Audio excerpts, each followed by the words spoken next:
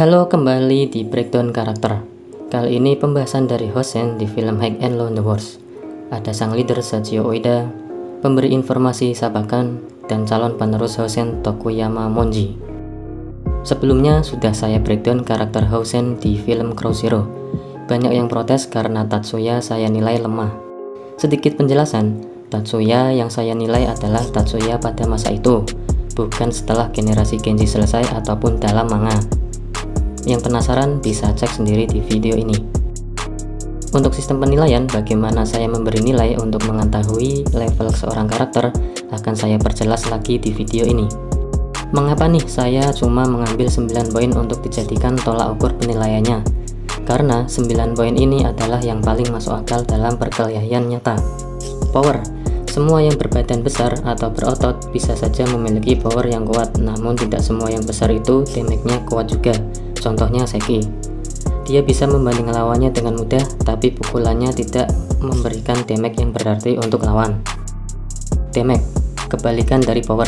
Karakter kecil mungkin tidak memiliki power kuat, namun bisa jadi memiliki damage yang menyakitkan, yang membuat lawang tumbang tanpa perlu waktu lama.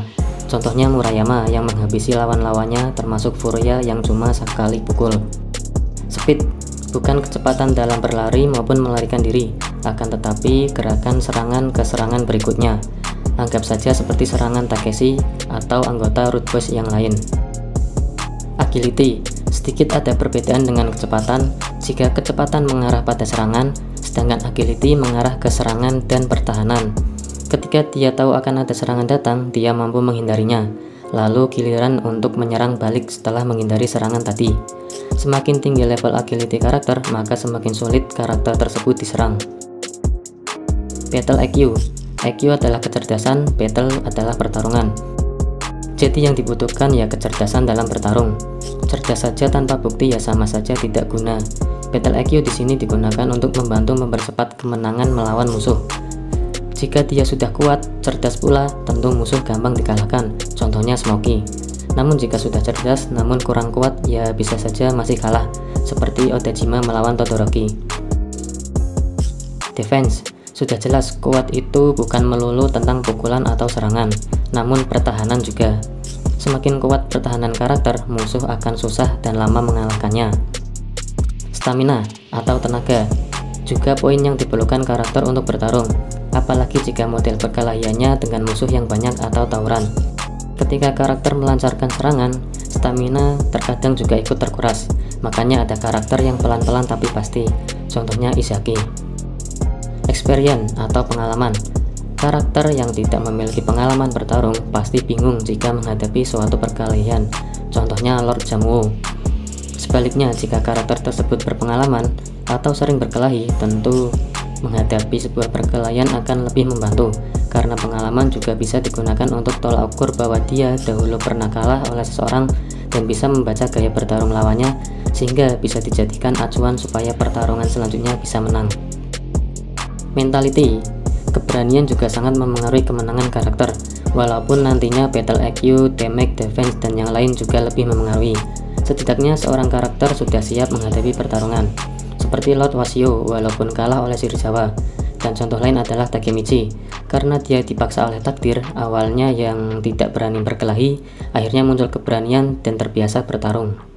Gimana, 9 poin tersebut masuk akal kan?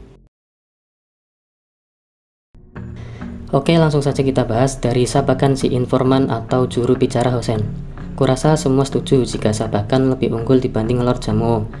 Yap, karena Sabakan sendiri sering ikut latihan dengan para siswa Hosen lain. Dan walau kelihatannya cupu, tapi dia cukup bisa untuk bertarung.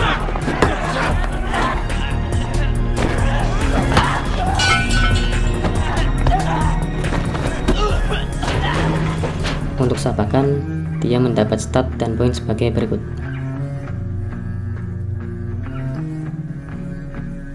Kedua, Tokuyama Monji. Odajima pernah bilang jika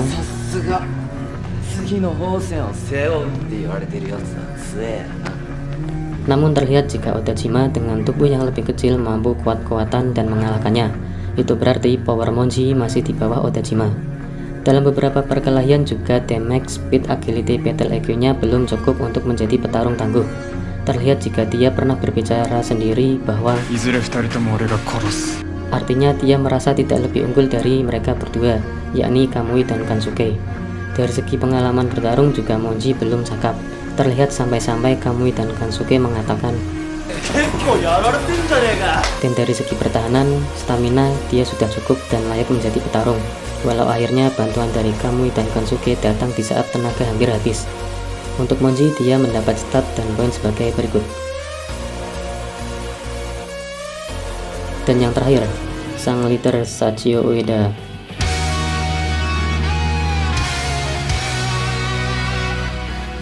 な関係ねえだろ。ここまでされたんだぞ。全日とか定時とか関係ないっつって。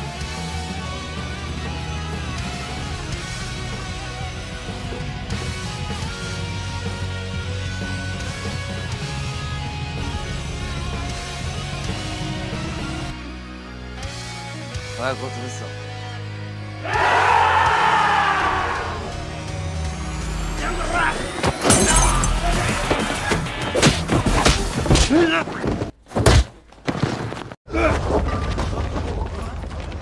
Ta 帰国早々。喧嘩の相手は選べ。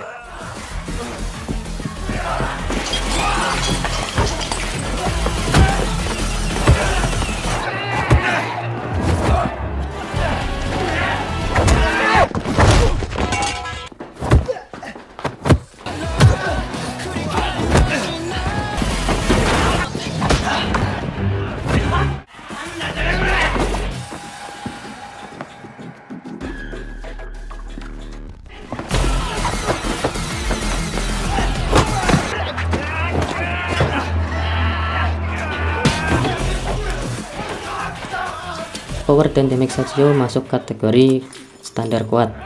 Untuk kelas Nakaoka saja, dia perlu beberapa pukulan untuk menumbangkannya. Sachio tipe petarung yang tenang dan pasti, gerakannya cepat, bahkan yang spesial dari Sachio ini menurut saya ya, itu terletak di agility dan battle IQ-nya yang bagus. Banyak serangan yang mampu dia hindari, lalu diubah menjadi serangan balik. Sudah pasti Sachio memiliki pengalaman yang bagus juga.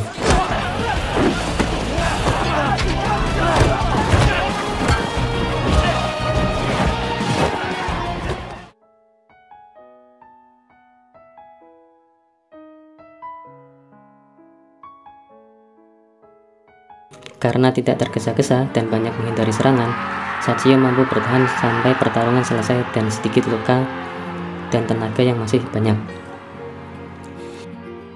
Sedangkan pertahanan, terlihat sekelas Fujio mampu membuat Sachio babak belur.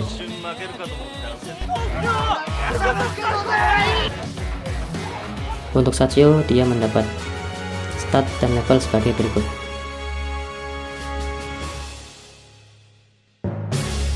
Next video untuk Osawa Itoshi, ikuti pembahas ini dan jika menurut kalian menarik, jangan lupa subscribe. Terima kasih.